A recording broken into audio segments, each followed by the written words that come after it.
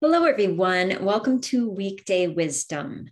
My name is Dr. Laura Schwindt, and today we are going to explore yet another key to unlock the door to a better version of yourself. Now, recently I was reading the synopsis to a fantastic book called The Gap and the Gain by Dan Sullivan. And he explains that highly successful people tend to focus on the next goal, the next achievement.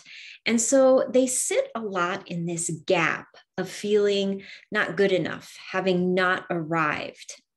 And yet, the truly successful high achievers are those that sit in the gain, and what the gain is, is a space where you recognize the fact that you have gained momentum, that you are one step better or closer than you were yesterday.